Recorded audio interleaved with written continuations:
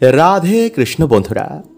বন্ধুরা, আজ নববর্ষের প্রথম একাদশী।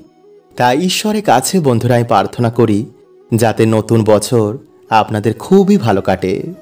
এবং ভগবান আপনাদের জীবন থেকে সকল দুঃখ, দরিদ্রতা নাশ করে দিক।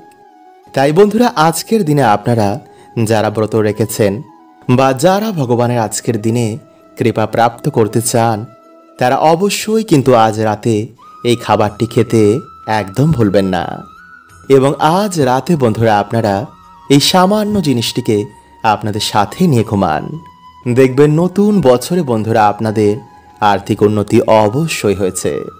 তাই ভক্তি সহকারে বন্ধুরা আপনারা ভিডিওটি অবশ্যই পুরো দেখুন। এবং ভিডিওটি বন্ধুরা আপনারা একটি লাইক করে কমেন্টে হর হর মহাদেব ও জয় শ্রীকৃষ্ণ অবশ্যই লিখুন। নাম্বার এক।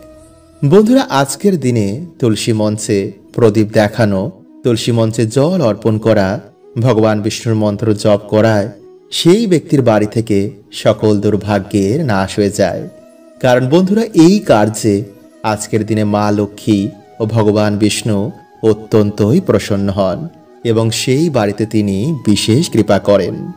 কিন্তু যেই বাড়িতে বন্ধুরা, আজকের দিনে আমিষ, পেঁয়াজ, রসুন, মদ্যপান ঝগড়া, ঝামেলা, অশান্তি বাড়িতে বেশি করে হয়।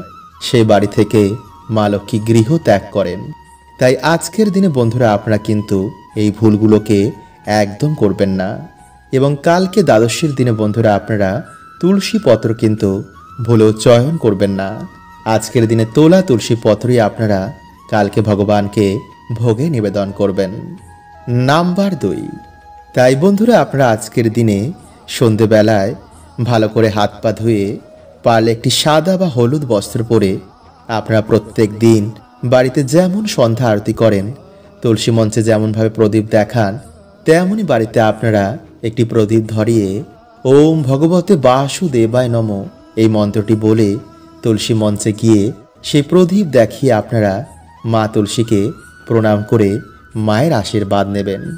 এরপর আপনারা ঠাকুর ঘরে এসে একটি ঘিয়ের প্রদীপ বা তেলের প্রদীপ জ্বালিয়ে আপনারা মা লক্ষ্মী ও ভগবান বিষ্ণুর উদ্দেশ্যে একটি এক টাকার কয়েন, যে কোনো সাদা ফুল বা হলুদ ফুল এবং মা লক্ষ্মীর উদ্দেশ্যে লাল ফুল এবং বাতাসা।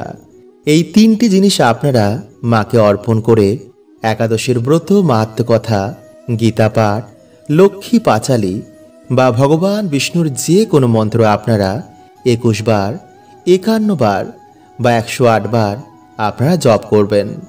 যেমন, ওম নম ভগবতে বাসুদেবায় নম। ওম লক্ষ্মী নারায়ণ নমো নমঃ। বা হরে কৃষ্ণ মহামন্ত্র আপনারা আজকের দিনে জপ করতে ভুলবেন না। এছাড়া বন্ধুরা, আপনারা আজকের দিনে ভগবানকে মাখন, নারকেল বা বেসনের লাড্ডু বা শুধু বাতাসায় ভক্তি ভরে ভগবানকে অর্পণ করে সেই প্রসাদ আপনারা বাড়িতে সকলে মিলে তারপর গ্রহণ করুন। এতে বন্ধুরা, মা লক্ষ্মী ও ভগবান বিষ্ণু অত্যন্তই প্রসন্ন হন এবং ভক্তের জীবন থেকে সকল দুর্ভাগ্য তিনি নাশ করে দেন। এবং বন্ধুরা, তারপর সেই এক টাকাটিকে আপনারা পুজোর পর আপনাদের বালিশের মধ্যে রেখে রাতের বেলায় ঘুমিয়ে পড়বেন। এবং পরের দিন আপনারা স্নান করে ভগবানের পুজো অর্চনা করার পর সেই এক টাকাটিকে আপনারা আপনাদের মানি ব্যাগ বা সিন্ধুক বা লক্ষ্মী নারায়ণের চরণে সে এক টাকাটিকে আপনারা রেখে দেবেন।